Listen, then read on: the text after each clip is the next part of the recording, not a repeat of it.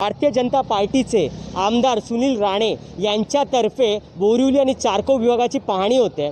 आत्ताच आपण एका मुद्द्यावरून इथपर्यंत आलो आहे संवेदनशाली असा मुद्दा होता.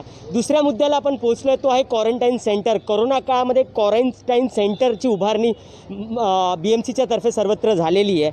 पण आमदार सुनील राणे यांचा असा दावा आहे की इथे वेगळ्या प्रकारचा गोटाळा किंवा भ्रष्टाचार असा ते दावा करतात तर त्याबद्दल थोडं आपण जाणून घेऊया. सर काय सांगाल त्याबद्दल? नाही पहिली गोष्ट म्हणजे काही भ्रष्टाचार किंवा घोटाळा नसून प्रशासकीय दिरंगाई ज्याला म्हणतो किंवा प्रशासकीय हलगर्जीपणा याचं उत्तम उदाहरण जर कसं असेल तर त्याला आपण सी सी वन असं नाव दिलं होतं क्वारंटाईन सेंटर वन ज्या वेळेला जून जुलैमध्ये याचा कोरोनाचा उद्रेक झाला आणि मग लोकांना घरामध्ये क्वारंटाईन करण्याची सुविधा उपलब्ध होत नव्हती अशा वेळेला या मागे असलेल्या दोनशे सोळा फ्लॅट्समध्ये म्हाडाच्या माध्यमातून ह्या बांधलेल्या दोनशे सोळा फ्लॅटची लॉटरीसुद्धा झाली.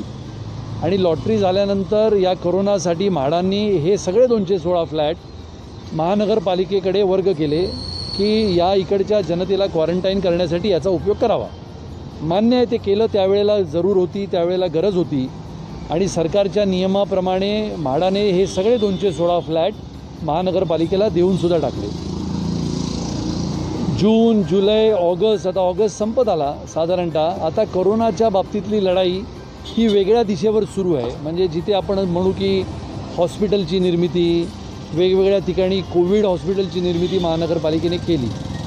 क्वारंटाईन सेंटरमध्ये असलेल्या दोनशे सोळा फ्लॅटपैकी आजही चाळीस फ्लॅट फक्त वापरले जात आहेत. आता चाळीस फ्लॅट जर वापरले जात आहेत आणि उरलेले साधारणतः पावणे दोनशे फ्लॅट्स हे असेच पडून असताना याच्या मागची भूमिका काय तर ती तुम्ही लक्षात नागरिकांनी लक्षात घेतली पाहिजे. तर या दोनशे सोळा फ्लॅटच्या लोकांनी पैसे भरले आहेत. आणि म्हाडाने यांना लॉटरी वितरण करून हे फ्लॅट आता त्यांच्या हातामध्ये देण्याची जबाबदारी होती. ती म्हाडा अजून करत नाही. महानगरपालिका हे रिक्त घरं पुन्हा म्हाडाच्या ताब्यामध्ये देण्यामध्ये दिरंगाई करते आहे. म्हणून आज भारतीय जनता पार्टीच्या वतीने आम्ही जेव्हा राऊंड घेत होतो लोकप्रतिनिधी म्हणून तेव्हा महानगरपालिकेच्या आणि म्हाडाच्या निदर्शनामध्ये आणून दिलं की या घरामध्ये ज्यांनी पैसे भरले आहेत त्यांना त्याचं इन्स्टॉलमेंट सुरू आहे पन्नास पन्नास हजाराचं. त्यांना घर तुम्ही ताब्यात देत नाही आणि दुसऱ्या बाजूला त्यांना भाड्याने बाहेर राहावं लागतं आहे त्यामुळे आता हे क्वारंटाईन सेंटर बंद करावं याचा वापर करत नाही आहे आणि ज्याला लॉटरीच्या माध्यमातून हे घर मिळालं आहे ते घर त्यांच्या ताब्यात देण्याची प्रक्रिया करावी. म्हणजे की तुम्ही पाहू शकतात ज्यातर्फे सुनील राणे आमदार सुनील राणे यांनी आपल्याला जो संदेश दिला आहे मुळात कुठेतरी सामान सर्वसामान्याचा त्रास यामध्ये त्यांनी कुठेतरी दाखवण्याचा प्रयत्न केला आहे की जेव्हा गरज होती तेव्हा त्यांच्या घराचा उपयोग घेतला गेला. मात्र आता जर ती खाली आहेत तर त्या सर्वसामान्यांच्या स्वाधीन ती घरं करून टाकावी जेणेकरून त्यांना कुठेतरी त्यांच्या खिशेला कुठल्याही प्रकारचा त्रास होणार नाही त्यांची घरं त्यांच्या ताब्यात येतील.